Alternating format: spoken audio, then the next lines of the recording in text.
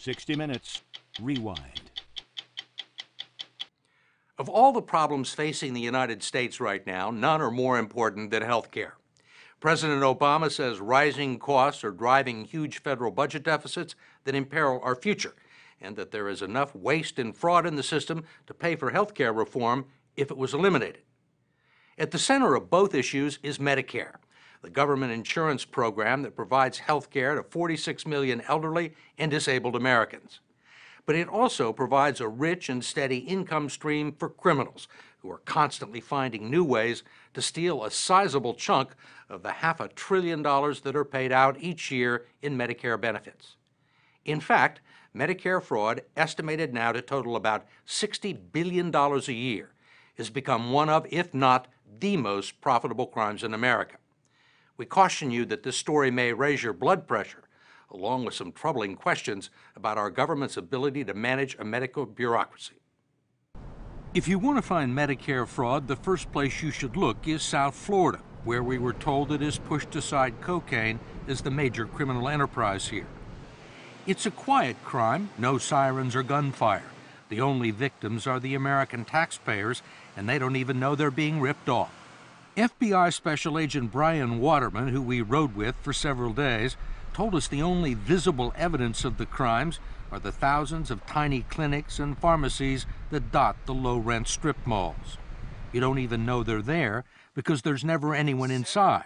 No doctors, no nurses, and no patients. This office number should be manned and answered 24 hours a day.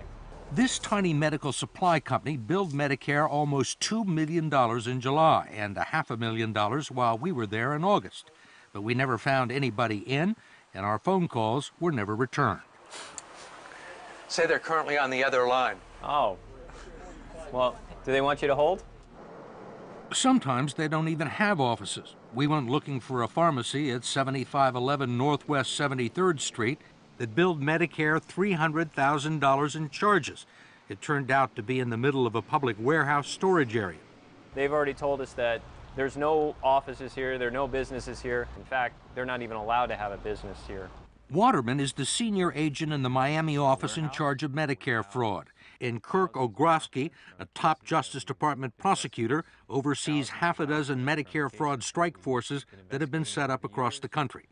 This one operates out of a warehouse at a secret location in South Florida and includes investigators from the FBI, Health and Human Services, and the IRS. There's a healthcare fraud industry where people do nothing but recruit patients, get patient lists, find doctors, look on the internet, find different scams. There are entire groups and entire organizations of people that are dedicated to nothing but committing fraud finding a better way to steal from Medicare. Is the Medicare fraud business bigger than the drug business in Miami now?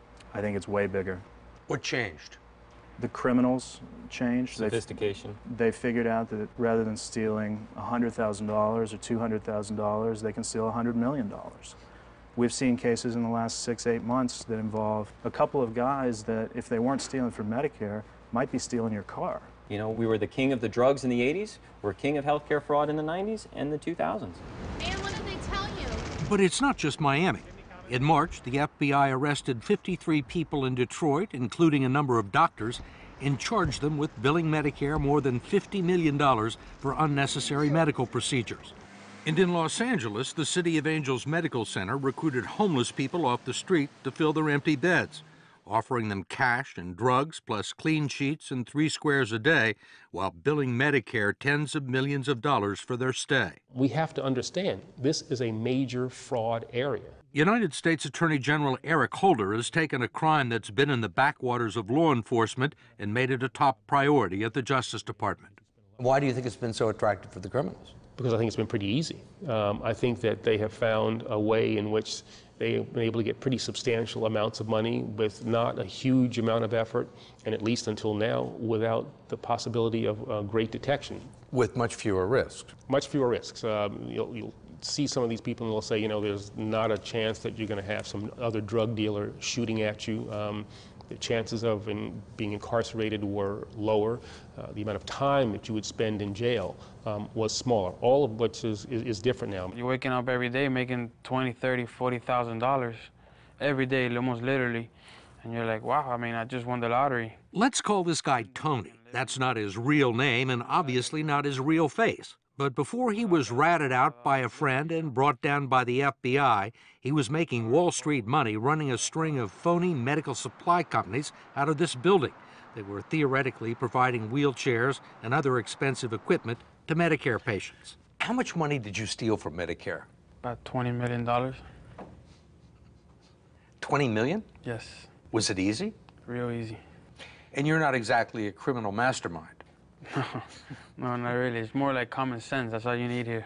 Did you actually ever sell any medical equipment? No. No.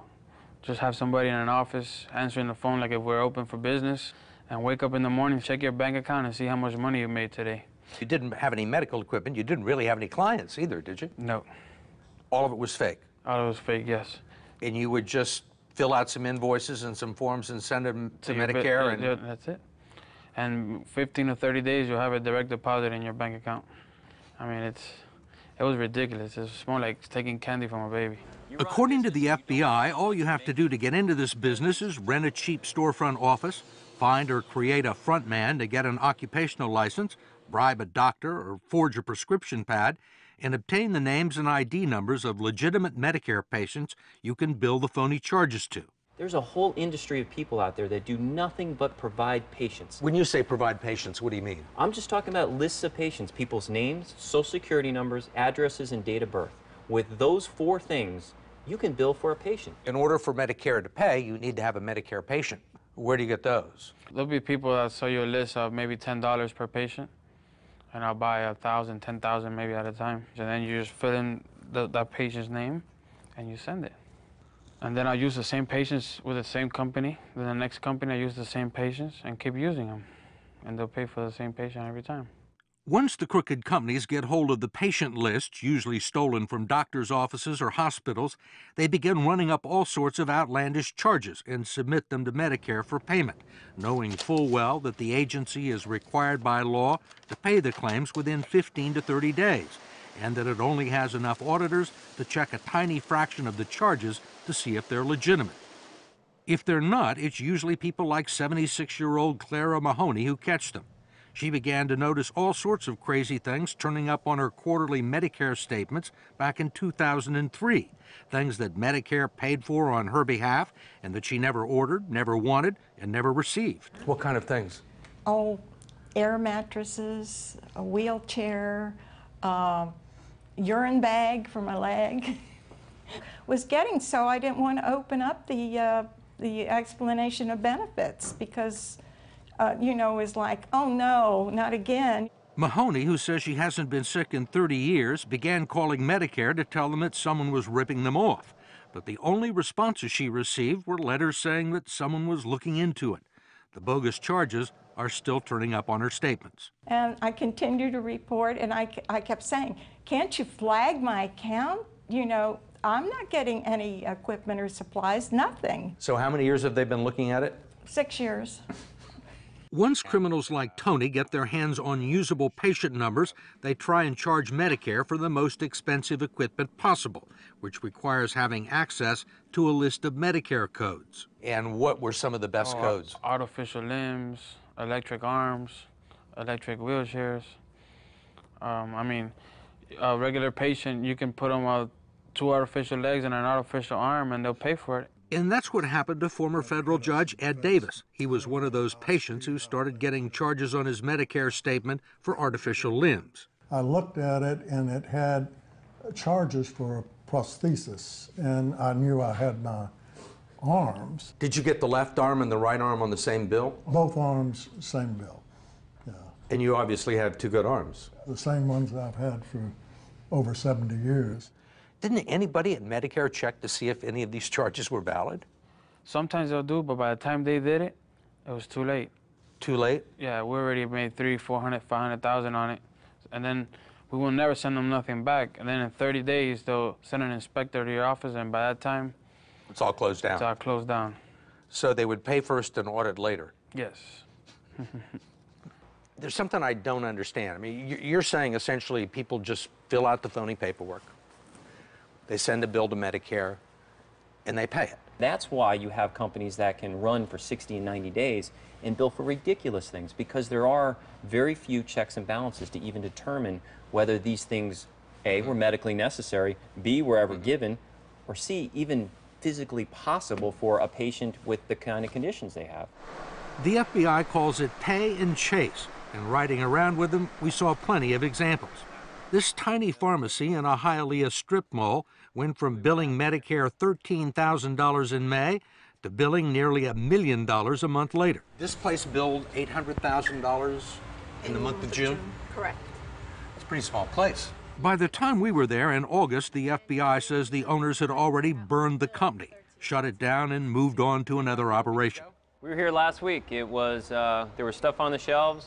The business still had a name on it. You can still see from where the tape is that someone just took this off. To understand just how preposterous all of this is, the FBI says that this tiny little store collected six times more money from Medicare in June than the largest Walgreen pharmacy in the state of Florida. Quite an achievement since neither the FBI nor the proprietor of the bingo parlor next door ever saw a customer coming or going. What's the deal with the pharmacy? I've never seen people only twice. No customers. No customers. It's always been locked. We obviously had a few questions to ask of the people at Medicare and requested an interview with the person in charge of preventing fraud.